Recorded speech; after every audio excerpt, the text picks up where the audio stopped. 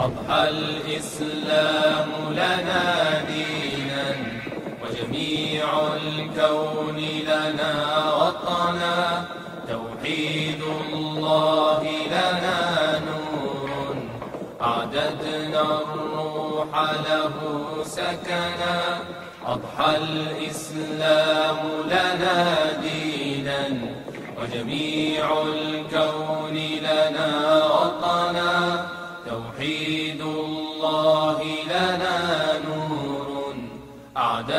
الروح له سكنا. الكون يزول ولا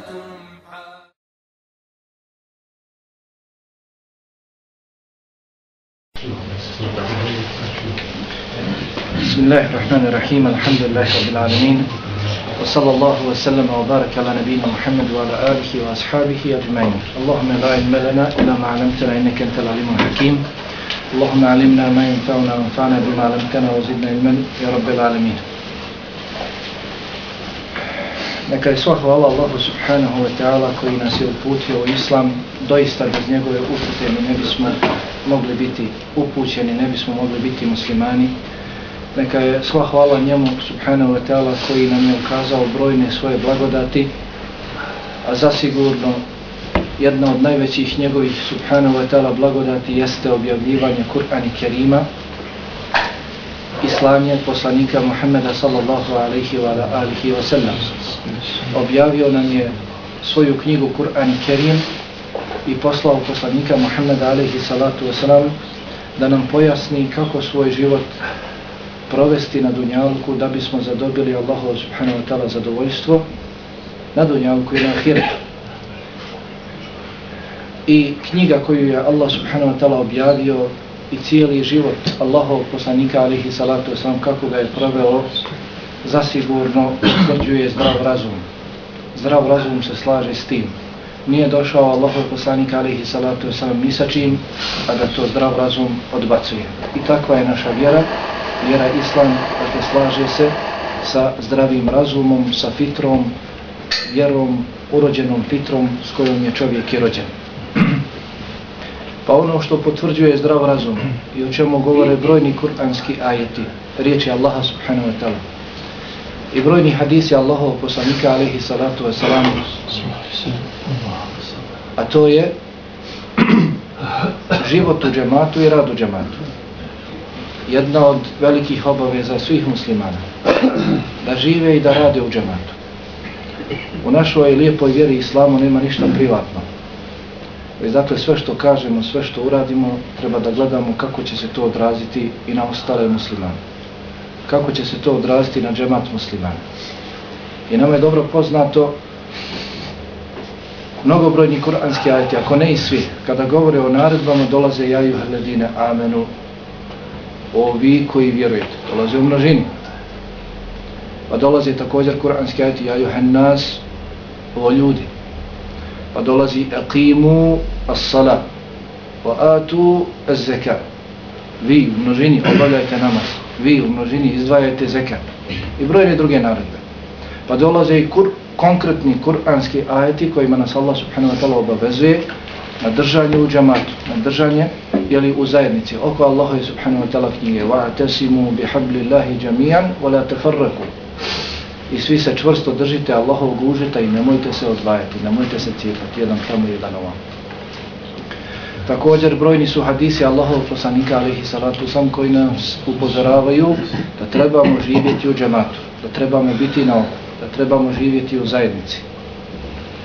Pa nama često spominjan hadis Allahov poslanika alihi salatu wasalam da je Allahova milost, Allahova ruka nad zajednicom, a kazna je nad cijepanjem, podvajanjem i sl. Pa bi čak Allahov poslanik alaihi salatu sam korio svoje ashaabe ukoliko bi na putovanju, kada bi odmarali, udaljili se jedan od drugoga. Jedan otišao u hladovinu desno, drugi u lijevo i slično, pa bi govorio taj postupak koji činite ne vidim nikako drugačije osim je li postupak od šeitana. Šeitan vas je nagovorio na to, podstaknuo na to. Pa kažu ashabi kasnije kada bismo odmarali, kada bismo ocijeli u nekoj dolini, pribili bismo se jedan uz drugoga toliko da kada bi se stavio čašak, kada bi se stavila kakva plahta, na nas mogla bi nas sve obuhvatiti. Ja. I također se prenosi od naših prethodnika, počevši od ashaba pa nadalje, da su podsticali da živimo u džematu, da tražimo sebi braću, da tražimo sebi prijatelje s kojima ćemo živjeti. Pa bi Alija radijallahu talan govorio, bolji je džemat makar imao i grešaka nego pojedinac. Da živiš sam kao pojedinac, gore je nego da živiš u džematu koji ima mnogo grešaka. Pa je Omer radijallahu talan rekao, nakon Islama čovjeku nije dato veće dobro od dobrih prijatelja. Pa kada doživite dobre prijatelje, onda ih se dobro pridržavate, čuvajte. I to bi nama trebalo biti poznato. Da živimo u džematu, da ne smijemo biti izolovani. Jer onaj koji se izoluje, njega vuk brzo i pojede, odnosno šetan ga brzo odradi. Dakle, trebamo živjeti u džematu i trebamo raditi u džematu. Što god kažemo, što god uradimo, moramo gledati kako će se to jeli, odraziti na ostale muslimane. Dobro, kako onda živjeti u džematu? Dakle, trebamo živjeti u džematu, trebamo imati nekoga koji će nas predvoditi, nekoga koji će nas savjetovati, koji će nam davati upustva, smjernice, popravljati ako pogriješimo, kakve mi imamo obaveze prema tom džematu, kakva imamo prava u tom džematu, jel, nešto da progovorimo večeras o tome. Kroz jedno od prelijepih kuranskih kazivanja. Jer je na vjerniku i na vjernici da rješenja za sve svoje probleme i za ono što trebaju da ostvare u budućnosti na njima je da to traže u Allahove knjezi, da proučavaju Allahovu knjigu i proučavaju sunnet Allahovog poslanika, ali i sam njegov životopis i da tamo pronalaze odgovore za sve svoje jeli, probleme, nesuglasice i slično. I dakle nije cilj samo da čitamo Kur'an od početka do kraja, da se takmičimo ko će više proučiti hatme jeli, ili slično, već dakle cilj nam je da proučavamo Kur'an Kerim. Cilj nam je da proučavamo Kur'an Kerim. Nećemo se mnogo koristiti osim dakle onih sevapa koji su obećani u hadisu za svaki harf. Nećemo se mnogo koristiti od Allaha i subhanahu wa ta'ala knjige ako ne budemo zastajali kod kur'anskih ajeta, proučavali, izučavali, izvlačili poruke i pouke i svoj život usklađivali po tomu. Zbog toga je Allah objavio knjigu. Zbog toga je Allah poslao poslanika alihi sallam. Ne da se čita od početka do kraja svakako čovjek to ima se vape za to, inša Allah. Ali dakle cilj je da svoj život uskladimo po toj knjizi. Kur'an i Kerim. I to je problem jedan, broj jedan danas kod nas. Zašto nam je život ovakav? Zašto su muslimani ovakvi? Zato što ne izučavaju Allahu knjigu. Neću reći ne čitaju, čitaju, ali nemaju mnogo fajde o čitanju. Allah subhanahu wa ta'ala u svojoj knjizi one koji samo čitaju njegovu knjigu, i koji su čitali njegove knjige naziva neznalicama, neukima. Svi smo mi neuki. Osim oni koji zastaju kod kuranskih hajeta, kod Allahove riječi i proučavaju. I izvlače poruke i pouke. Šta im njihov gospodar poručuje i svoj život usklađuju po tome. Kaže Allah subhanahu wa ta'ala, vama dobro poznati, 78. an sura al-Baqara na 12. stranici. وَمِنْهُمْ أُمِّيُّونَ لَا يَعْلَمُونَ الْكِتَابَ إِلَّا أَمَانِيِ وَإِنْهُمْ إِلَّا يَظُنُّونَ I od njih ima neukih neznalica koji ne znaju za knjigu, ne poznaju knjigu osim da je čitaju. Ovdje dakle nije ispravno preveden kuranski taj raj. Stoji osim zagatke, ne znaju osim zagatke, ne, nije tako prijevod. Već dakle ne znaju za knjigu osim da je čitaju. Znaju knjigu kako, samo da je čitaju. A kada govore o njoj, govore po pretpostavkama, nagađaju. Ne znaju tumačenje tih Allahovi subhanahu wa ta'ala riječi. Dakle, svi smo mi neuki, neznalice, sve dok ne budemo stali, zastali kod Allaha i subhanahu wa ta'ala riječi, izučavali, izlacili poruke i pouke i svoj život usklađivali prema tome. Pa ćemo dakle večeras da spominjemo jedno od kuranskih kazivanja kratko, je, dakle nemoguće uzeti veliki broj ajeta, prokomentarisati izvući poruke i pouke.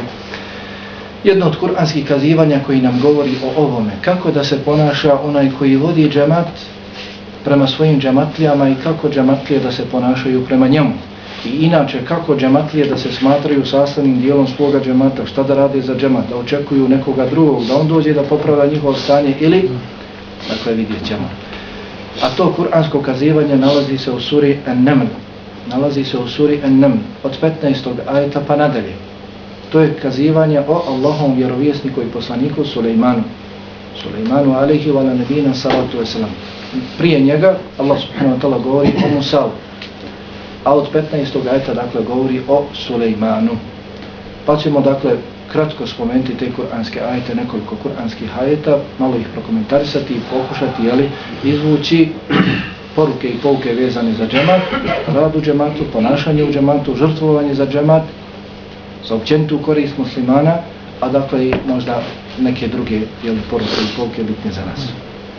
Pa dakle kaže Allah subhanahu wa ta'ala u 15. ajetu sure An-Naml وَلَقَدْ آتَيْنَا دَاوُودَ وَسُلَيْمَانَ عِلْمًا وَلَقَدْ آتَيْنَا دَاوُودَ وَسُلَيْمَانَ عِلْمًا وَقَالَ الْحَمْدُ لِلَّهِ الَّذِي فَضَّلَنَا عَلَى كَثِيرٍ مِنْ عِبَادِهِ الْمُؤْمِنِينَ وَلَقَدْ آتَيْنَا دَاوُودَ وَسُلَيْمَانَ عِلْمًا Dakle, govori o Davudu i Sulejmanu. Poznato nam je da su bili Allahovi vjerovijesti i poslanici i da su bili vladari. Da su vodili muslimane, svoje sljedbenike. Imali su svoj džemat, ogroman džemat. Pa kaže Allah subhanahu wa ta'ala وَلَقَدْ آتَيْنَا دَاوُدَ وَسُلَيْمَانَ عِلْمًا Mi smo zasigurno Davudu i Sulejmanu dali znanje. I ova riječ znanje došlo je, kao što čujete, u neodređenom obliku. A kada se nešto spominje u neodređenom obliku, onda želi se ukazati na veličinu tog znanja. Ispravan prijevod, zasigurno mi smo Davudu i Sulejmanu dali znanje i to kakvo znanje. Dali znanje i to kakvo znanje. Pa onaj koji želi da bude vladar, onaj koji želi da vodi džamat, da vodi određenu skupinu ljudi i da to njegovo vođstvo i taj njegov rad bude veričetan, mora imati znanje. Mora imati šerijetsko znanje prije svega, a zatim dakle i ostalo kao što će doći. Mora, mora imati šerijetsko znanje. I samim ovim dijelom kuranskog ajeta Allah subhanahu wa ta'ala postiče dakle to koji hoće da vodi džemat, da upravlja određenom skupinom jeli, muslimana, da ima nekakvu ovlast na njima, mora imati šarijetsko znanje, da bi ih usmjeravao kao Allahom zadovoljstvu, a isto tako postiče sve nas, jer svi smo mi manje više pastiri, kako je došlo u hadisu. Svi mi kod kuće imamo džemat. I svako od nas bi trebalo, sve jedan od nas i sve jedna od nas trebala bi, jeli, i trebali bismo željeti tom svom džematu u svojoj kući prosperitet, lijepu budućnost, Allahovo zadovoljstvo, jel, zasigurno. Pa dakle moramo se podučavati. Ovaj dio kuranskog ajeta postiče nam da tražimo znanje. Da tražimo znanje. I šarijatsko znanje Allaha subhanahu wa ta'ala najveća blagodat nakon islama i imana koju vjernik može da uživa. Nema veće blagodati. Dokaz tome jeste da je Allahov poslanik alihi salatu wasalam od Allaha tražio da mu poveća jedino znanje. Ništa drugo.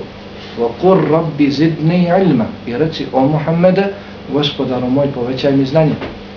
Nije došlo povećaj mi metak, povećaj mi potomstvo, povećaj, povećaj mi ovo ili ono. A kur rabbi zidni ilma. I reci gospodaru, povećaj mi, povećaj mi znanje. Dakle, to je jedna od Allahovi subhanahu wa ta'ala najvećih blagodati. Nakon Islama i imana.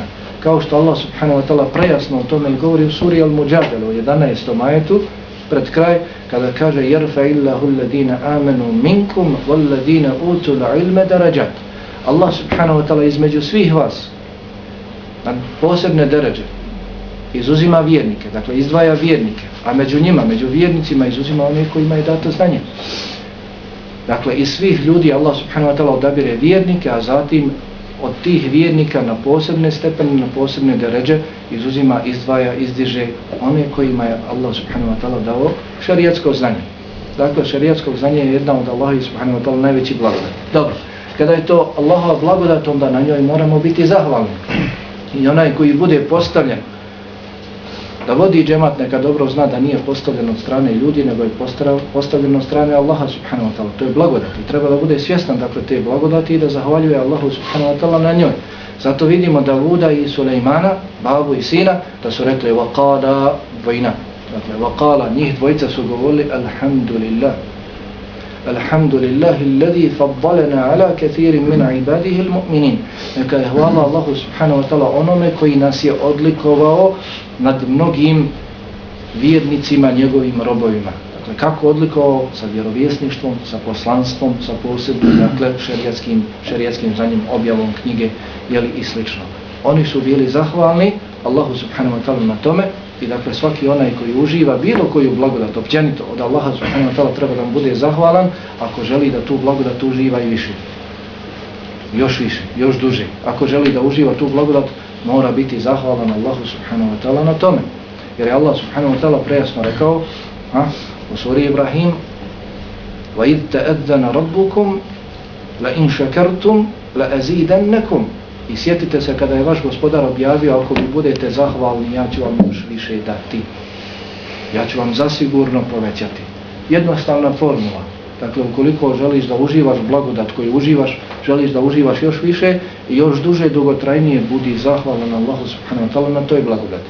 Kako biti zahvalan Allahu subhanahu wa ta'ala na blagodatima? Mislim da bismo trebali znati da to je zasebna, posebna tema. Nije samo dakle da se kaže gospodaru hvala ti, šukr tebi i slično, već dakle, dotičnu blagodat treba priznati Allahu subhanahu wa ta'ala, naša ljubav se treba, kada god spoznamo neku blagodat da nam je Allah ukazao, naša ljubav prema njemu se treba povećati, ili tako, Allahu pripada najuzvišeniji primjer da vam neko na dunjalku dođe i non stop daje vam čini vam dobročinstvo, no što vam daje, zar se vaše srce ne bi polako počelo vezivati za njega, zasigurno, brojne su Allahove blagodati, ne možemo ih ni pobrojati, pa zašto da se naše srce ne veže za Allaha, džallavala, jednog i jedinog, va im te uddu ni'amete Allahi la tuhsuha, ako biste vi brojali Allahove blagodati, nikada vi ne biste mogli brojati. Dakle, kada god nam Allah subhanahu wa ta'la ukaže neku blagodat i nije spoznamo, na nama je da priznamo tu blagodat, da svoje srce vežemo za Allaha, da se naša ljubav poveća, jel? da ne smatramo da nam je neko drugi dao tu blagodat, već jedino Allah subhanahu wa ta'ala da tu blagodat koristimo u pokornosti, pokornosti njemu. Evo, dakle, oni su rekli وَقَالَ الْحَمْدُ لِلَّهِ الَّذِي فَضَّلَنَا لَا كَثِيرٍ مِنْ عِبَادِهِ الْمُؤْمِنِينَ Dakle, odlikovao ih je nad ostalim vjernicima sa tim šerijatskim znanjem. Dakle, i mi kada god nešto naučimo iz Allahove vjere, moramo da budemo dakle posebno zahvalni Allahu subhanahu wa ta'ala na tome. Zašto? Zato što je to najveća Allahova blagodat koju možemo uzivati nakon Islama i imana. Na drugoj strani, nakon što smo zahvalni Allahu subhanahu wa ta'ala, dokaz da je to znanje koje smo stekli, ispravno znanje, i da smo se okoristili njime, moramo biti skromni prema Allahovim robovima. Ne tražimo šarijasko znanje da se izdižimo nad njima šarijat ko hoće visinu, ko želi ugled, čast, poseban položaj, neka traži šarijatsko znanje radi Allaha subhanahu wa ta'ala. Onaj koji bude tražio šarijatsko znanje da se uzdigne nad Allahim robovima, a, samo će dakle povećati se oholost kod njega i povećat će se grijesi. Šarijatsko znanje se traži radi Allaha subhanahu wa ta'ala i što god čovjek više sazna iz Allaha subhanahu wa ta'ala vjeri na drugoj strani mora da bude neminovno skromniji, ponizniji sve više i više nemoguće je dakle da traži šarijetsko znanja da se sve više i više oholiš na neukima to nije put Allahovog poslanika. Ako misliš da je to sunnet pogriješio si u slijedjenju osobe Allahov poslanik alihi sallam nije takav bio. Što god bi mu više dolazio dakle osoba koja je bila nauka što god je dakle ona bila više nauka Allahov poslanik alihi sallam je prema njemu bio sve više ponizniji i skromniji. A što god je bila osoba učenija i griješila Allahov poslanik alihi salatu sam, jeli, oštrije bi ga korio. Zar nije rekao Omeru radijallahu talam kada je ga je vidio da čita strancu Tevrata, da se nije zacrvenio sav Allahov poslanik alihi salatu sam, naljutio se i rekao ostavi to Omer, da je Musa alihi salatu sam živ, on bi me slijedio. Ne bi mu preostalo ništa drugo osim da me slijedi. Muaz ibn Džebel kada je klanjao jaciju sa surom El Bekare, učio suru El Bekare na jaciji namazu, i pozvao ga Allahu poslanik alihi sallam kasnije kod sebe, nije prestao govoriti efetanu nem te ja mlad, efetanu nem te ja mlad, efetanu nem te ja mlad. Zar ti da iskušavaš ljude, zar ti da ljude dovodiš jeli u, na ugodnost o Moaze, a ti poznaješ ko je Moaz ibn Džabel? Ashab koji je najbolje poznavao halal i haram. Najbolji pravnik koji se ikada pojavio sutra na sudnjem danu predvodit će sve pravnike, sve fatihe. Ali kada je došao Beduin i pomokrio se ekremekom Allah u mesčidu, pa skočili pojedinci da ga zaustave u toj njegovoj nakani, Allahov poslanik Ali sam rekao, pustite ga, čovjek je krenuo, šta ćeš? Hoćete sad da i vas unečisti, da unečisti još veći dio mesčida, da sebe unečisti, da sebi nanese voli, dakle mnoge druge posljedice koje bi mogao da nanese takav postupak ashaba. Pa nakon što je čovjek završio, taj Beduin završio sa svojom fiziološkom potrebom, rekao je Allahov poslanik alihi sallam ashabima, otište i prospite kantu vode, na ono što je on uradio, a njega pozvao i rekao nije mešćid za toga napravio. Mešćid nije sazdan, sagrađen zbog toga, već samo zbog obavljanja namaza, učenja Kur'ana i slavljenja veličanja zikra Allaha subhanahu wa ta'ala. Dakle, blago ga je posavjetio. I mnogi drugi primjeri, kada god bi mu dolazili neuki ljudi koji nisu stanovali u Medinu, u Medini se tražilo znanje. U Medini su bile halke Allahov poslanika ali i sam njegovih učeni ashaba. Beduini su stanovali izvan Medine. Nisu imali znanja, bili su neuki, a kada bi dolazili Allahov poslaniku ali i on bi se prema njima blago obhodio. Zašto? Da dobije nešto od njih dinara i dirhema? Ne. Da im dostavi Allahov subhanahu wa ta'ala vjeru. E takvi trebamo i biti mi. Što god više naučimo, dakle trebamo biti milostiviji prema drugim ljudima, onima koji nisu u mogućnosti da nauče Allahu subhanahu wa ta'ala vjeru. Pa je rekao Malik ibn Dinar, rahimahullahu ta'ala, ukoliko čovjek bude tražio znanja radi Allaha, to znanje učinit će ga skromnim i poniznim, dok ukoliko ga bude tražio radi nečega drugog ili radi nekoga drugog, to znanje povećat će mu samo grijehe i oholost. Također je rečeno od strane naših prethodnika, čije povećanje znanja ne bude i razlog povećanja bogobojaznosti, skromnosti, poniznosti, neka on preispita svoje znanje. Neka on preispita svoje znanje. Dakle, ona je od nas, ona je od vas, koji ima šarijesko znanje i poslije se oholi nad Allahovim robovima, drži im lekcije, šamara i slično, neka preispita to svoje znanje. Zašto? Zato što Allah rekao u suri Fatir, innama jahša Allahe min ibadiha lulema, Allaha subhanahu wa ta'ala se istinski boje učeni ljudi. Pa ako tvrdiš da si učen, onda moraš da budeš i bogobojazan. Moraš da budeš skroman. Moraš da budeš ponizan. Jel? Zatim, Allah subhanahu wa ta'ala kaže dalje. U 16. majtu. Uvarite Suleimanu Davud. وقال يا أيها الناس علمنا منطق الطير وأوتينا من كل شيء إن هذا لهو الفضل العظيم وورث Sulejmanu Davud i Sulejman naslijedi Davuda. A i Sulejmanu i Davudu, kako je stojalo u prethodnom ajetu, dato je ogromno znanje, šarijatsko znanje, ogromno znanje. Pa zaključak ukoliko ode prijesednik džamata, na njegovo mjesto treba da također dođe učen insan. Ukoliko ode učen koji je vodio ovaj džamat, na njegovo mjesto opet treba da dođe učen. Ne bilo ko, hajde, tvoj mandat je pola godine, godina, dvije godine i slično, prohabavat ćemo malo, mijenjat ćemo se, ne može tako. Ako želite veričetan rad, da poluči rezultate ili da možeš očekivati dakle, rezultate, mora dakle da takav džemat vodi učena, učena osoba, prije svega dakle u šarijetskom znanju. Pa ima dakle šarijetsko znanje. Uvarite Sulejmanu Davud. I ovdje dakle riječ je o nasljedstvu. I Sulejman naslijedi Davuda. Riječ je dakle o ovom nasljedstvu. Nasljedstvu u vjeri, nasljedstvu u poslanstvu, nasljedstvu u vjerovjesništvu. Ne dakle u imetku. Zašto se ne može reći da je ovdje Suleiman naslijedio Davuda u imeku? A? Da se ne biste uspavali. Zato što je dato znanja, nije dato. O, kako nije dato? Davud je imao imetka i imetka, Suleiman. Nije se dato veliko znanja. Ja, dobro, ali imali su mnogo imetka, bili su vladari. Bio poslanik ovaj. Nećeš izvući iz ovog kuranskog ajeta, ali moraš poznavati nešto drugo. Došlo je u hadisu da je rekao Allahu poslanik alihi sallatu sallam mi vjerovijesti poslanici se ne nasljeđujemo. Ono što ostane iza nas od imetka to je sadaka. To je sadaka. Dakle, da je ostalo i ako je ostalo iza Davuda to se dijeli dakle svima. Ne, ne ostaje njegovim sinom. I također nije Davud imao samo Sulejmana od sinova. Imao je mnogo sinova. Tako? pa da je riječ o nasljeđivanju i metkom da bi bili spomenuti i drugi, a ne samo Suleiman.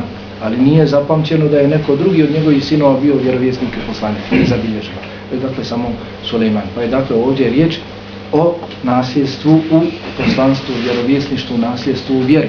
Pa ovaj dio kuranskog ajeta, dakle prije svega poručuje nam kada ode emir učen, na njegovo mjesto treba da dođe učen. I također pa druga poruka je li pouka da vodimo računa šta ćemo mi ostaviti svoje djeci u nasljedstvo. Kakve ćemo biti vjere mi pa šta da djeca naslijede od nas. Dobro dakle vodimo računa. Kako ćemo se mi pridržavati Allahove vjere pa da djeca tokom našeg života gledaju juče od nas pa da nas naslijede da nas naslijede jeli, u tome pa kaže dalje Suleiman alihi salatu ja ejuhen nas o ljudi, o ljudi, kako je ovo mogao da kaže među četiri zida ili? Ne, izašao je pred ljude. Ljude doveo pred sebe. Dakle svoje džematlije doveo pred sebe ili on izašao pred džematlije? Dakle prijesednik mora da se susreće sa svojim džematlijama. Efendija, imam, vođa mora da se druži sa svojim džematlijama ne da treba deset vrata otvoriti dok se dođe do njega. Deset brojeva nazvati da se dođe u vezu s njim. Ne, on mora da bude dostupan svojim džematljama, da izlazi i da govori o radu džemata da podnosi izvještaj svojim džematljama. o ljudi izašao je Sulejmani dozvao svoje džematlije pa kaže ulimna mentiqa tajr wa utina min kulli šej inna hada lahu al fadlu ladim o ljudi nama je dato da razumijevamo ptičije glasove, da razumijemo tiči govor. I dato nam je mnogo drugo znanje i doista je ovo ogromna Allahova blagodat. Opet dakle potvrđuje. Kao što su u prethodnom ajetu spominje se, rekli neka je hvala Allahu. Zahvaljivali se na toj blagodat isto ovdje, na svakom drugom znanju. Dakle, sve jednu blagodat koju uživa, šarijasko znanje ili bilo koje drugo znanje ili bilo koju drugu blagodat, to treba priznati da je Allahov blagodat i biti mu zahvalan na tom. Ulimna mentiqa tajr, da to nam je. Ko je dao? Allah subhanahu wa ta'ala dao. Nema nijedne blagodati da i mi uživamo da je od nekoga drugog. Počesto, nažalost, mi zaboravljamo izvora blagodati, ili tako? Onaj koji je izvor blagodati. Znamo samo za onoga preko kojeg nam dođe ta blagodat. Ime je tako ovo ili ono. Pa se njemu zahvaljujemo. A počesto zaboravimo na izvor.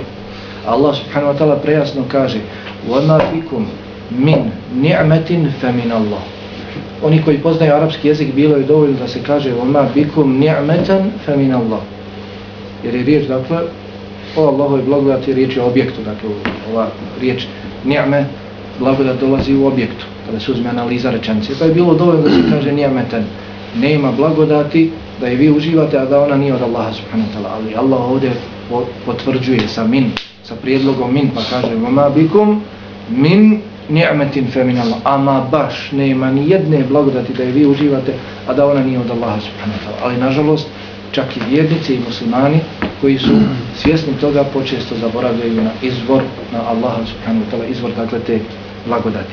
Olim na menti katajr, dato nam je da razumijevamo tiči govor, data nam je određena blagodat, uživamo nešto, prijesednik, vođa, imam, efendija, ovaj ili onaj koji već predvodi džemat, što god uživa od blagodati treba da pojasni ljudima kako je došao do te blagodati. Odakle ta blagodat? Da džematlije ne misle da je to od njihove članarine, od ovoga ili od onoga. A, dakle, treba da je transparentan, da kaže, ljudi, to mi je dato, Allah mi je dao, stekao sam na takav i takav jeli način, dakle, treba da izađe pred svoje džematlije i da govori o tom. Da ne bi, dakle, oni pomislili i da ne bi se počelo u džematu ili govoriti na sva usta jeli dobio je ovako ili onako ili slično. I također, jeli stoji u utina min kulli še i dato nam je dakle mnogo šta drugo, dato nam je mnogo drugo znanje. Pa također, onaj koji predvodi džemat, pored šarijaskog znanja treba da ima dakle znanje iz ostalih oblasti. Treba dakle da ima i ostale jeli sposobnosti pri sebi. Zatim kaže Allah subhanahu wa ta'ala وحشر لسليمان جنوده من الجن والإنس والطير فهم يوزعون i iskupiše se vojske pred Sulejmanom. Njegove vojske iskupiše se pred Sulejmanom. Evo opet, u nekoliko ajeta jeli, ovih dolazi iskup džamatlija pred imamom. Što dakle, neminovno nam ukazuje da moramo izaći i miješati se sa svojim džamatlijama da efendije, imami, emiri, predsjednici udruženja moraju biti otvoreni za svoje džematlije, moraju se družiti s njim.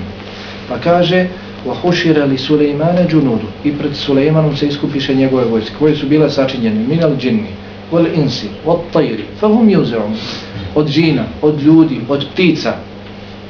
I svi su, fahum juzeum, bili poredani u redove, bili poredani u čete.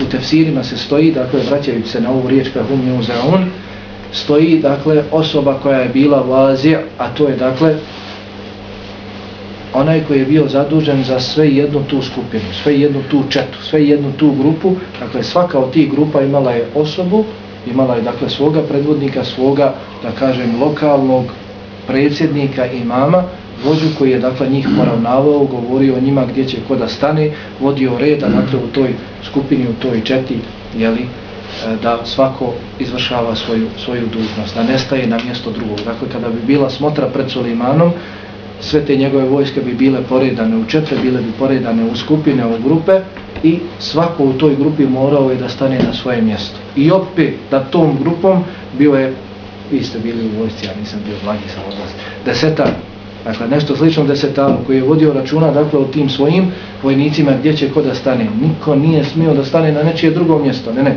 ti imaš u džematu tu zadužbinu, ti moraš da stojiš tu, ti moraš u džematu da radiš to i to, nemoj se bakća tuđim poslom ti trebaš dakle da staneš tu i da vodiš računa o tome. Nemoj stajati. Ima na drugo mjesto ko će jeli drugi da stane. Pa ovaj dio kuranskog ajta dakle poručuje nam prije svega da se moramo miješati, emiri, vođe, imami, besednici moraju se miješati sa svojim džematlijama. Zatim, jeli, džematlije moraju biti podijeljene u skupine, u grupe. Ovaj sektor toliko broji džematlija, ovaj sektor broji toliko džematlija. I opet oni dakle imaju nad sobom nekoga jeli, nadređenog koji će njihov rad usmjeravati, a kasnije glavnom predsjedniku podnositi izvještaj. Predsjednik ne smije da bude onaj koji treba da dadne i da stavi tačku na i kod svakog, da bude kapak svemu. Ne smije se ova sjelca zavrnuti dok se on ne pita. Ne smije se promijeniti utičca dok se on ne pita.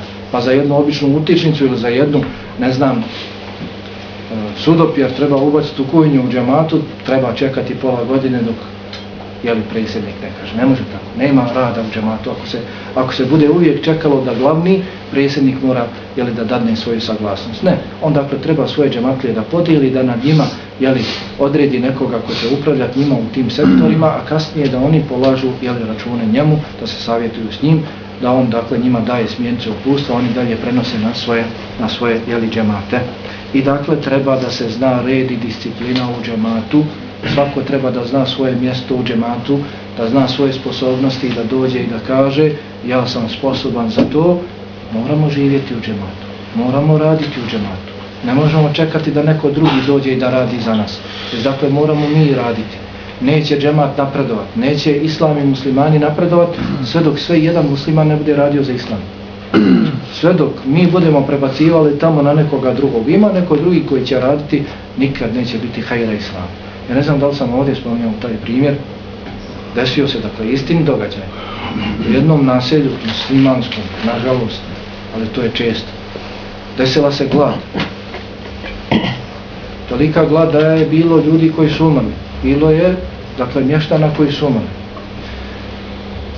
Kako se kaže, namjesnik tog mjesta, jeli, predsjednik mjestne zajednice, jeli, tog mjesta zna da ima hrane ima imućnih ljudi. Samo da ti imućni ljudi donesu hranu, moglo bi se određeno vrijeme, dakle da se preživi i prebrodi jel ta kriza. Pa je došao na ideju i kaže, sazvao ljude na trg, izašao, miješao se sa svojim jamatlijama i kaže, ljudi, ja, ako Bog da imam rješenje. Postavit ćemo, odrejit ćemo taj i taj dan, i tu i tu večer, i postavit ćemo velik lonac. Od svakog od vas, dakle, mještanina se ne traži nešto mnogo traži se samo da dođe sa čašom mlijeka. Pa onaj koji nema, toliko je siromašan, glad ga toliko je li obrala, nema ništa u kući, da pozajmi od onog koji ima, nije mnogo pozajmio. Kada bude u mogućnosti, lahko će vratiti čašu. Neće se mnogo zadužiti. Kaže, sve jedan od vas neka dođe sa čašom mlijeka, ali neka dođe sam. Kada bude sipao svoju čašu, jeli u taj lonac, kotavu šta je već, onaj neka, niko ne gleda, neka ne dođe s nekim u pratnji pa da on gleda kako se ipa. Ne. Kada dođe, neka izvadi svoju čašu i neka izlije i neka prepusti mjesto drugom, neka drugi dođe. I postavili su, odredili su taj dan i to veče, narodno veče iza toga dana i dolazio je narod. Sipao, sipao, sipao, sipao, sipao, svi mjesta, svako je došao, pratili su. Niko nije izostao. Ujutro, dakle ta večer je također prošla, ujutro kada su došli da podignu, trebalo je taj lonac ili poklopac, jeli, lonac otkriti poklopac podignuti, trebalo je mnogo ljudi, došli da podignu i kad su podignuli, našli su pun lonac vode. Pun lonac vode. Našli su pun lonac vode. On je to i htio da dokaže gdje je problem. Problem je Zašto umiru njihove komšije? Zbog njih. Sve jedan od njih koji je dolazio, dolazio je sa čašom vode. I kad je sipao, govorio bi ova moja čaša vode neće se primijetiti u loncu mlijeka. Ja ako ispijem čašu vode, a bit će lonac pol mlijeka, ta moja čaša vode neće se primijetiti. Ali problem što svi tako razmišljaju.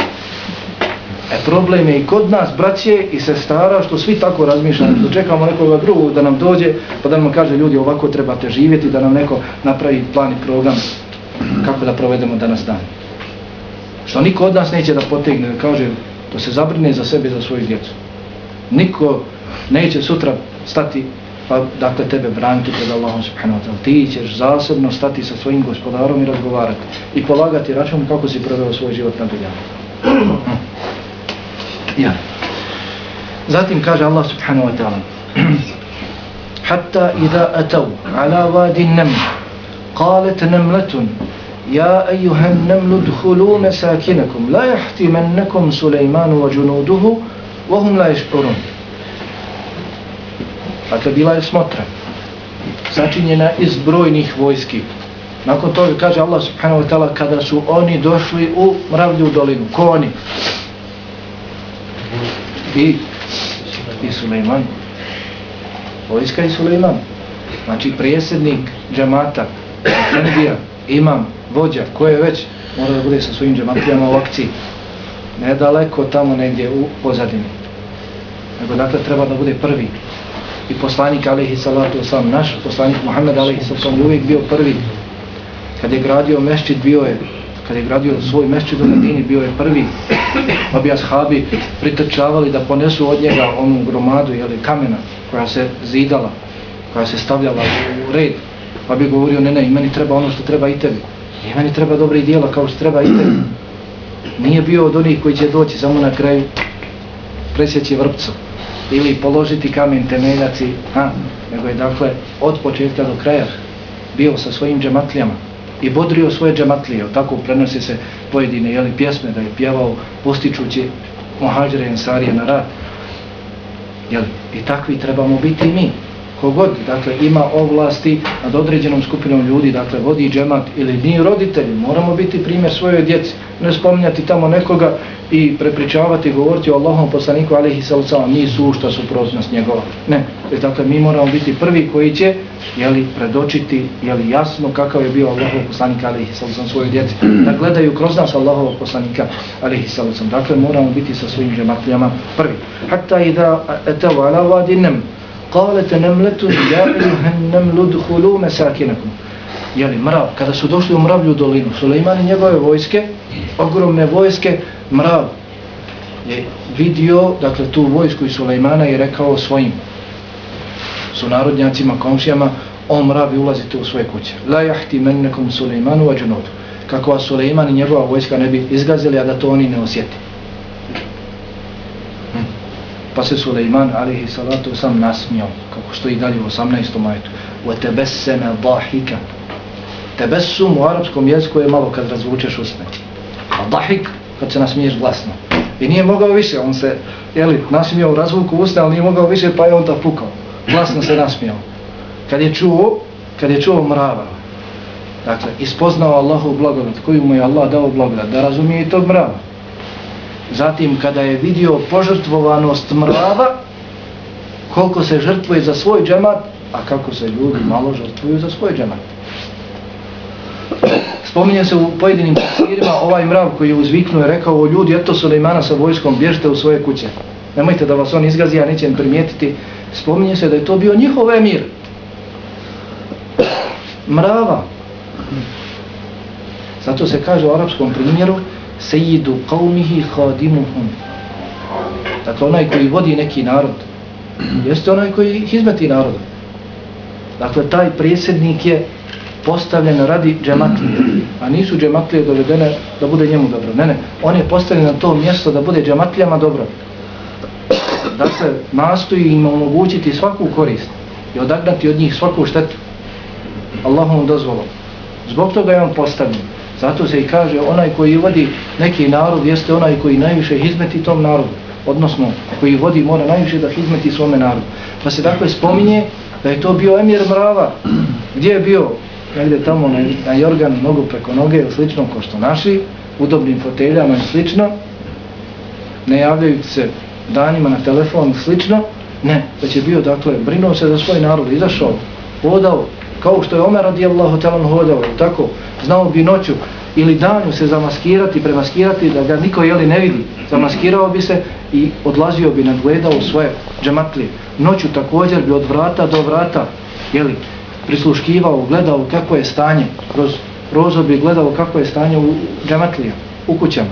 Pa poznato vam je dobro da je rekao, ako bi neka, ha, na sjeveru Iraka, šta? Ovce Ovca slomila nogu, zato što ja nisam poravnao put, Omer bi bio sutra odgovoran pred Allahom. Brinuo se za ovcu. Mi se ne brinemo za svoju djecu. A kamo li da se brinemo za stanje u džematu? Djeca su nam banditi. Najgori u školu. I hoćemo prosperitet ovoj dari. Nikad. Nema boljitka.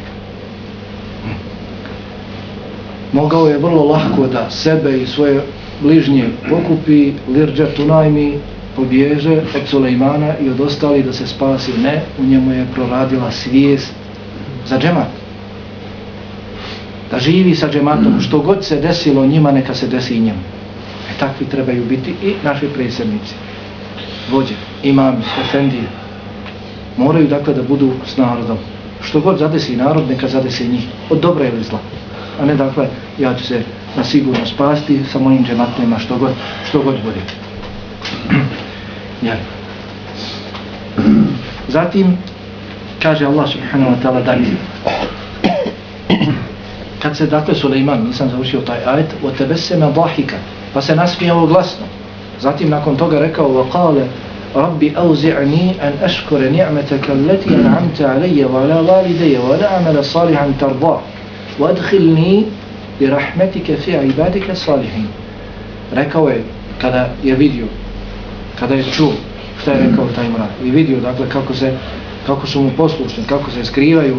Nasmijao se glasno rekao je gospodaru omogući mi da ti budem zahvalan na blagodati koju si dao meni i mojim roditeljima. Jer obično dijete uživa blagodat koju uživa i njegov babo i majka i omogući mi da činim dobra djela i svojom milosti uvedi me među tvoje dobre robove A, dakle trebamo biti ovaj dio kuranskog ajeta postiče nas da budemo zahvalni Allahu subhanahu wa ta'ala na njegovim blagodatima. Međutim, ne možemo biti zahvalni Allahu subhanahu wa ta'ala na njegovim blagodatima ako nam to ne omogući.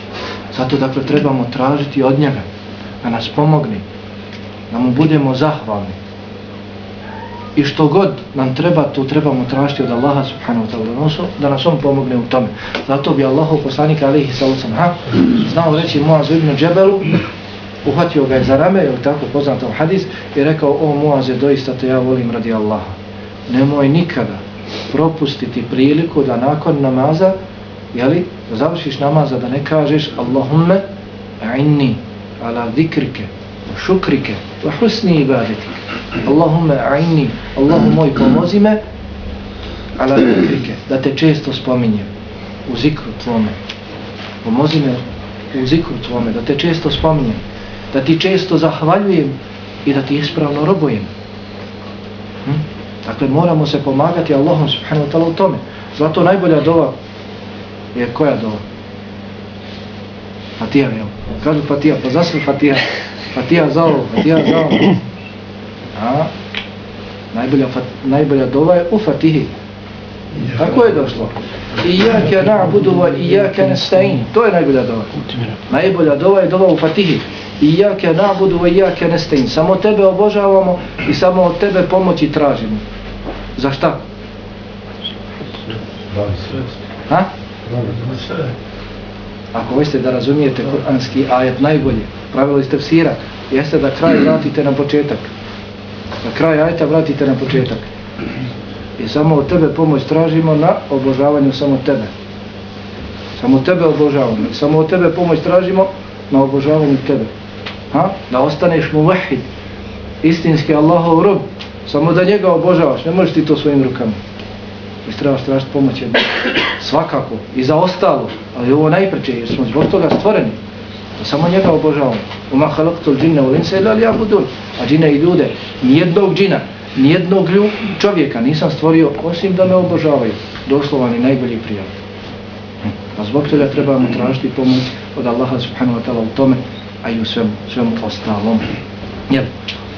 I također kaže da činim dijela kojima ćeš ti biti zadovoljan i svojom milosti me uvedi u tvoje dobre robove svojom milosti me uvedi u dobar džamat jeli?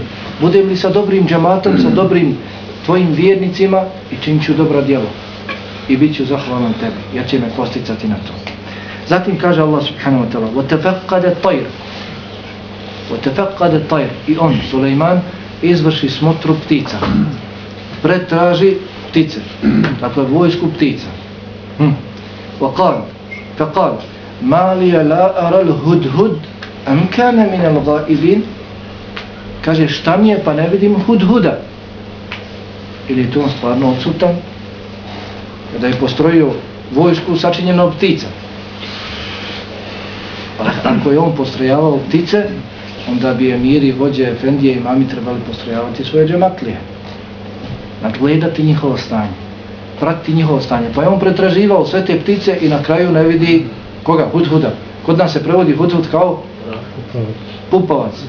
Kao mala sićušna ptica, ptičica. Od te ogromne vojske i ogromnih vojnika on čak vodi računa i onom malom hudhudu. Dakle, emiri, vođe, efendije, imami, nikoga ne smiju u svome džematu pocijeniti.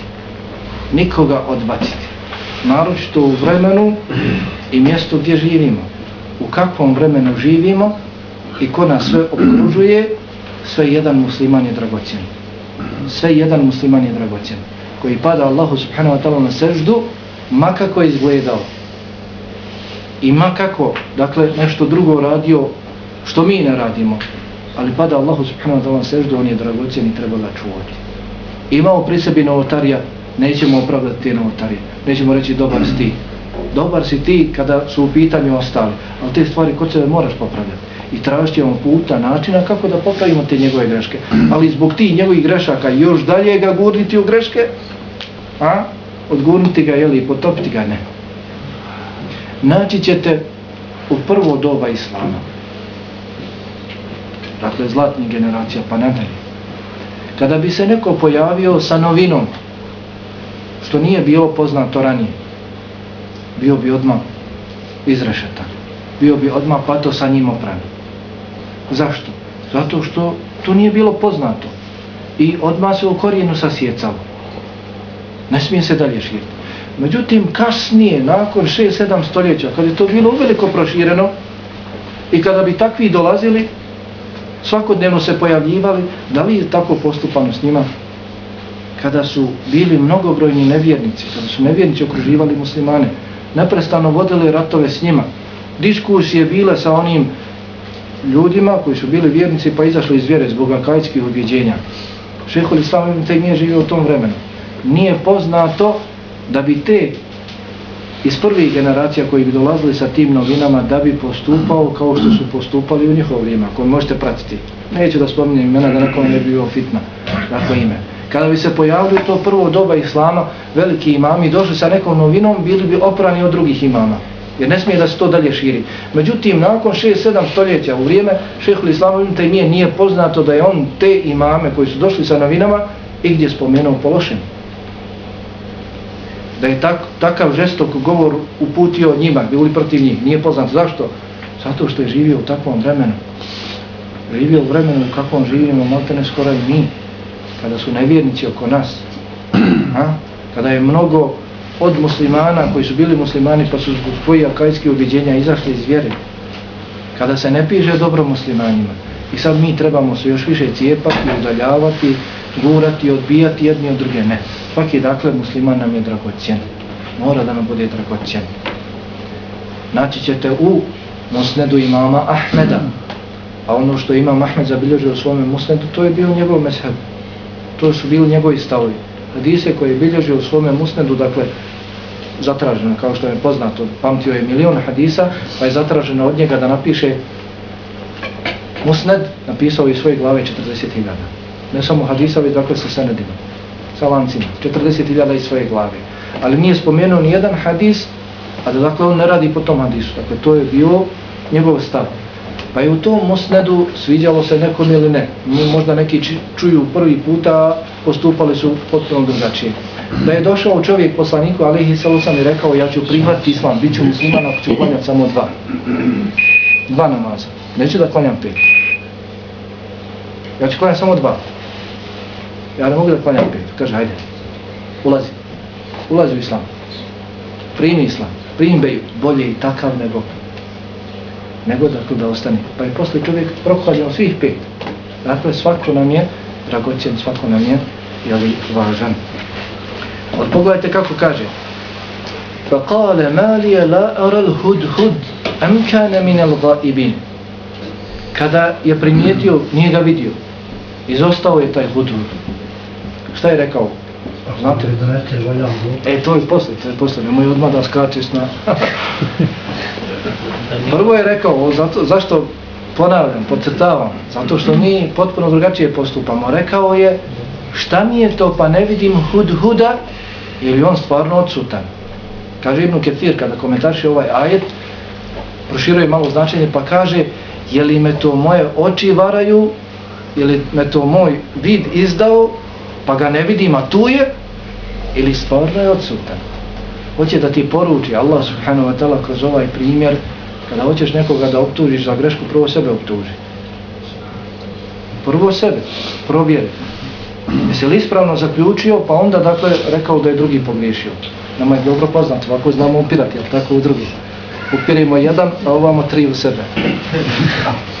Je li tako?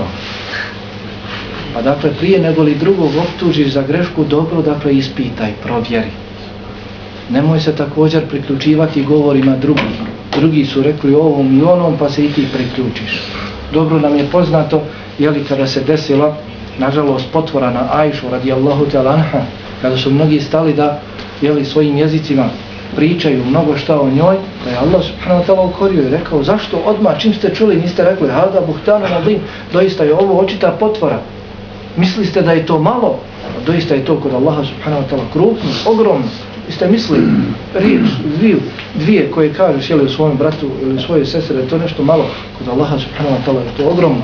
Dobro nam je poznat hadis kada je ha, Aisha radijallahu ta'ala rekla Allahom poslaniku alaihi sallam svome suprugu šta će ti Safija? Šta će ti Safija za ženu kada je takva i takva? Pokazala rukom na nje niza krasto, ko će žena ima ljepši žena?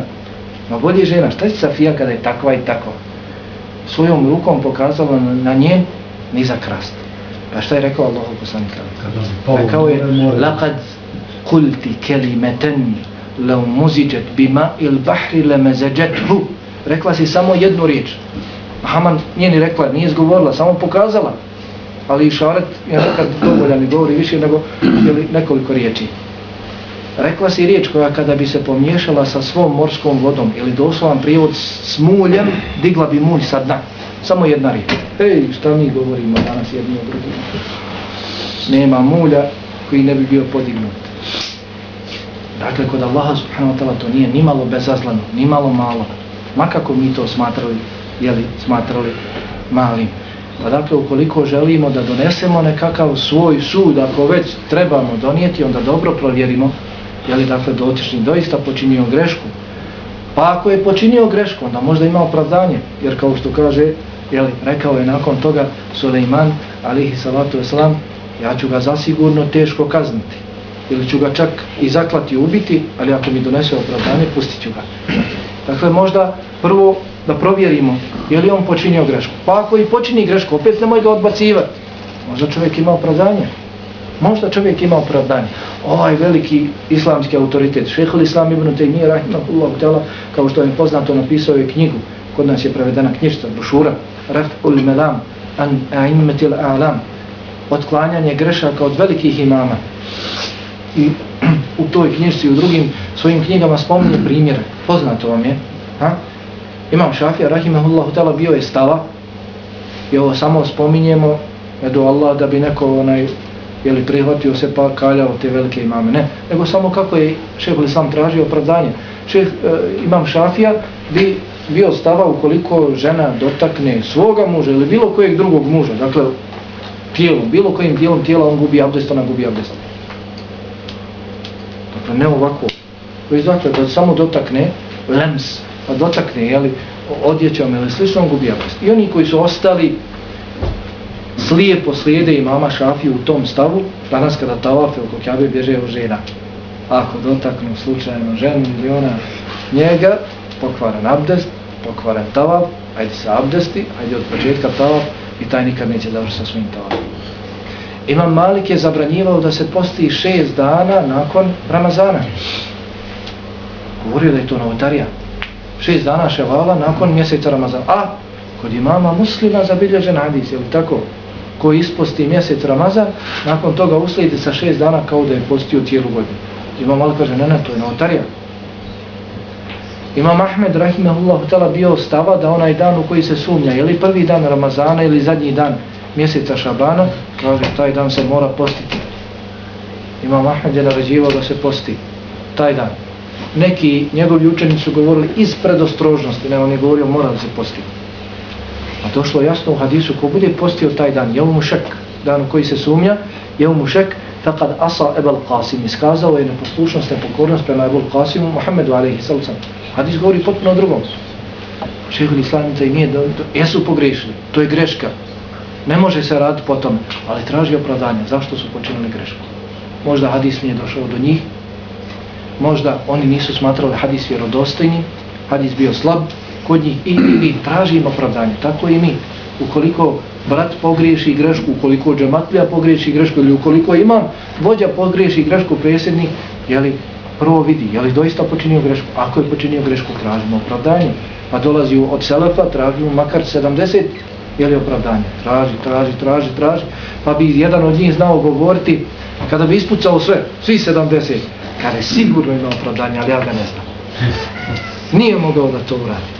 Nedoliko je muslimanu da to uradi, sigurno ima opravdanje, samo ja ne mogu da dokučim. Ja, takvi dakle trebamo, takvi trebamo biti, biti mi. Jer tako je upitao šta mi je, ne vidim hudhuda ili je to on doista, doista odsutan. Zatim nakon toga, je rekao je, ako mi ne donese valjano opravdanje, doista ja ću njega teškom kaznom kazniti ili ću ga čak, ili ću ga čak biti, ili ću ga čak zaklati. Nakon toga kaže Allah subhanahu wa ta'ala pojašnjava gdje je to bio hudhud, radi koje misije, radi čega je i radi koga je izostao. Pa kaže, fe mekete gajire ba'id, i došao je za kratko vrijeme, nije se mnogo zadržao. Dakle, kada je izvršena smotra i Suleman kada je došao do njegovog mjesta, nije ga našao, nije ga vidio, za kratko vrijeme je došao. Zar onome koji počini malu grešku, ne treba tražiti opravdanje? Svakako, ne treba tražiti više opravdanje. I zar onome koji je sićušan, koji je novo islamu, ne treba tražiti opravdanje? Svakako da treba tražiti opravdanje. Zar onome koji je neuk, koji je neznalica, koji je džahil, ne treba tražiti više opravdanja. Svakako da treba tražiti više opravdanja. Pa nakon toga kaže njemu hud hud. Dakle, mala ptičica. Neki tamo njegov vojnik sićušan. Fa kale ahattu bima lem tohit bihi. Ja znam ono što ti ne znaš. Ja sam saznao, ja imam znanje koje ti ne znaš. Kome je rekao? Suleiman za koje kaže Allah subhanahu wa ta'ala وَلَقَدْ أَتَيْنَا دَاوُدَ وَسُلَيْمَانَ إِلْمَ Mi smo Davudu i Suleimanu dali znanje i to kakvo znanje? Pa kaže Suleiman, o ljudi, Allah nam je dao da razumijevamo ptičije govore i dato nam je mnogo drugo znanje. Njemu dolazi tamo neki sićuča njegov vojnik i kaže, ja znam ono što ti ne znaš. I šta radi Suleiman? Bježi balo jedan, ja od tebe da slušam, bježi, miči mi se s puta, iznesi opravdanje zbog čega si izostao ili ti leti glava, a? Ne, već je dakle saslušao ga. I nakon toga slijede kuranski ajit u kojima on pojašnjava gdje je bio, koga je vidio, šta radi taj narod i ona koja predvodi taj narod. Dakle, Suleiman je posvetio mu pažnju i slušao ga, uvažio ga, makako on bio sićušan, makako on bio možda neznatan kod nekih. I šaret nama, da kada god nam neko dođe sa istinom, mako on bio i makoliko ti imao znanja, bio inteligentan, bio sposoban, neko ti dođe sa istinom, uzmi to. Uzmi to, prihvati to. Radi istine, ne radi njega, radi istine. A? Nemoj dakle s onim znanjem koje imaš, s onom sposobnošću i inteligencijom koju imaš da se uzdigneš. Gdje god, od koga god, dakle čuješ riječi istine ti prihvati. I takav je bio i Allahov poslanik, alaihi salatu wasalam, naš uzor, vođa, na kojim treba istinski da se povedemo. Ne samo da govorimo, a ne budske mjesec. Rabi leo, jele, kada mnogi pričaju o njemu, ali malo ko radi, malo ko slijedi njegov život, nažalost, subhanallah. Treba da se istinski povedemo. Njemu dolazi jevrej židov, Allahom poslaniku, alihi sallam, kaže, o Muhammede, nije rekao prvi se, o Muhammede, tvoji sledbenici prave grešku, griješe, kako? Kažu ono što hoće Allah i što hoćeš ti Muhammede, ne može tako? Kaže, ne može tako. Ono što hoće Allah jedin, tako će biti, nemojte to više govoriti. Uzeo od židova, jevreja, hej, nama dođe musliman pa neće da prihvatimo od njega. A da nam dođe neko s one tamo druge strane koji pa, pa za nije došao Temim ibn Auseddar, koji je bio kršćan i ispričao slučaj, njegov slučaj, njegov događaj, njegov susret sa Dejjalom, kako vidiš ima muslim, svoj sahiju. Saslušao ga. Zatim naredio muezzinu, Allahu poslanika alihi sallam, naredio muezzinu da kaže as salatu džamija, as salatu džamija, svi na namaz, svi na namaz, tako bi se pozivalo kada bi došla neka velika vijest, kada bi svi trebali da čuju tu vijest. Pa su svi došli, brojni ashabi prenosi ovaj slučaj, ovaj događaj, ovaj hadis. Pa Allahu poslanik alihi sallam klanjao s njima dva rekata, nakon toga ispeo se na mimber i citirao ono što je čuo Temima ibn Ausa Dari kršćanina, koji je bio kršćanin do tada. Hm? I nakon toga rekao, zar vam nisam ja o ovome sličnom govorio? Prihvatio dakle sve od njega. Zar vam ja nisam o ovome slično govorio? Dakle, bio je takav. Takvi trebamo biti i mi kogod nam dođe sa istinom, da trebamo dakle, te riječi istine da prihvatimo. Da ne gledamo dakle ko nam dolazi, pa ako nam je došao ovakav ili ovakav, od njega sve uzimamo. Ne, već dakle gledamo šta nam govori. Pa ukoliko govori, a potvrda toga se nalazi u Kur'anu ili u hadisu, uzmi to. Nimalo se ne libi. To što tebi on nije drag, tvojoj duši ne, ne, ne liježe, to ti ostavi nekome drugom. Prihvati se te istine. Zato naši ispravni prethodnici postavili su veliko pravilo. El haqqu la yurefu bir riđal, lakinna riđale yurefune bil haqq. Istina se ne prepoznaje po ljudima, već se ljudi prepoznaju po istinu. Istina se ne prepoznaje po ljudima, pa dolazi ovaj ili onaj magistar, doktor, ovakav ili onakav, što god kaže sve istina. Ko kaže da je sve istina? Što? Istina je samo ono iza čega, iza onih njegovih riječi kada stoji Kur'an i Sunnet. To je istina a ono za što nema potvrde u Kur'anu i Sunnetu to nije istina, pa makar bio i ko bio.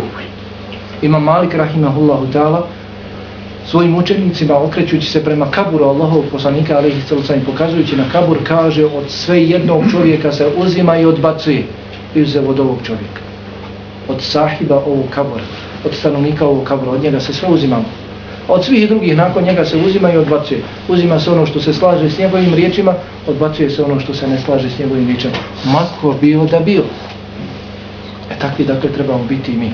Da slušamo šta nam se govori, mako govorio. Pa ukoliko je potvrda toga u Kur'anu i Sunnetu, obaveza nam je da to prihvatimo. I takvi su bili i naši, naši prethodnici. Kada bi sreli učenije od sebe, pred njih bi sjedali na koljena i učili od njih kada bi se susreli sa manje učenim od sebe, onda bi njih položili pred sebe na koljena i oni njima prenosili znanje. Kada bi se susreli sa ljudima, učenim ljudima koji su učeni jednako kao i oni, onda bi razmjenjivali svoje mišljenja, stavove, razmjenjivali dokaze, upotpunjavali, upotpunjavali svoje, svoje znanje. Dakle, i Suleiman, alihi salatu wasalam, je na takav način ha, saslušao svoga vojnika, saslušao svoga džematpiju i također iz ovog postupka hudhuda vidimo makako ti bio nov u džematu, makako bio mlad, mlada u džematu, možeš da dadneš svoj doprinos tom džematu. A, nemoj da se smatraš, jer ne moram ja, ima neko tamo drugi, mene stid, mene ovo, mene ovo, ne, već dakle radi za džemat hodno, dakle svojim, svojim mogućnostima. Samo tako, uz Allahu subhanahu wa ta'ala dozvolu, postupimo li sve jedan od nas, sve jedna od nas, budemo li radili za džemat, ako Bog da i rad u džematu i život u džematu bit će beričetan. Dakle, ima toga još da se govori, ali mislim da je sasvim, sasvim dovoljno. Ako bismo se vratili, jeli, analizirali, ponovili, dakle, sve te poruke i pouke, da vođa, emir, imam, efendija, predsjednik udruženja mora da bude učen prije svega u šarijetskom znanju, zatim dakle i ostalim granama znanja u ostalim oblastima, da mora da se miješa sa svojim džamatljama, da mora da bude zahvalan Allahu subhanahu wa ta'ala na toj blagodati, da mora da bude skroman prema jeli, Allahu subhanahu wa ta'ala robovima, da se ne izdiže, a jedan od pokazatelja te njegove skromnosti jeste i da se druži s njima, sa svim svojim džematlijama, ne dakle samo sa određenim, sa šurom koja ga podržava, koja je možda odabrana na njegovu inicijativu, on probrao sebi ljude koji će stati uz njega i braniti njegove ideje, ne, već sa svima, narošto sa siromasima, narošto sa siromašnim, narošto sa neukim, da se, dakle, oni podrže, jer oni koji su neuki, oni koji su mladi, jeli, njima je najdragocijenija riječ podrške, tako je, dakle, treba podržati. Emiri, vođe, šura, treba sa takvima da se druži. Sa siromasima naročito. Onaj koji bude sjedio sa siromasima ostvarit će mnoge koristi uz Allahov dozvor. Allahov ljubav, Allahovo zadovoljstvo. Sa siromahom sjediš zbog čega? Zbog koga? Samo radi Allah. Jel tako? Ne imaš ni zbog čeg drugog da sjediš sa siromahom. Nemaš šta od njega dok... Onaj koji sjedi sa siromasima i druži sa siromasima i želi da bude u hizmetu njima, to je radi Allaha sigurno. On nema šta da dobije od njih. Onaj koji voli nekoga i sjedi s nekim, radi Allaha subhanahu wa ta'ala ne zaslužuje Allahu ljubav. Kako je došlo u hadisi kuciju, da je Allah subhanahu wa ta'ala rekao Vađebet mehabbeti, moja ljubav je obavezna onima koji se posjećuju radi mene. Onima koji se vole radi mene. Onima koji sjede radi mene. Onima koji se potpomažu radi mene. Ha? Pa budeš li sa svojim džematlijama, sa svim svojim džematlijama družio se, potpomagao, ako Bog da ostvarit ćeš dakle i ovu korist. Isto tako, ponekada, jeli, vođa, imam, efendija, emir, predsjednik udruženja, mora da posegne nekada i za tim strožijim mjerama, represivnim mjerama. Ha? Teškom ću ga kaznom kazniti, ako mi ne donese, ali opet mora da bude pravedan. Da, dakle, prije svega nego li optuži svoga džematliju za grešku da dobro preispita je li pogriješio, ako je pogriješio da mu traži opravdanja, da mu da je li drugu priliku. Na drugoj strani mi džematlije, dakle, imamo prava, ali dakle imamo i svoje obaveze u tom džematu. Moramo da radimo, moramo da damo je li maksimalno svoj doprinos. Kada nas predsjednik džemata pozove da idemo s njim, je li, i slično. I mnogo što drugo, što se mogu još spomenuti ali vidimo ovdje da je preko sat vremena. Subhanakallahu, hamdika shahadu la ilaha illa anta astaghfiruka wa atubu. Ne znam čiji su. Ako ima neko nešto da pita,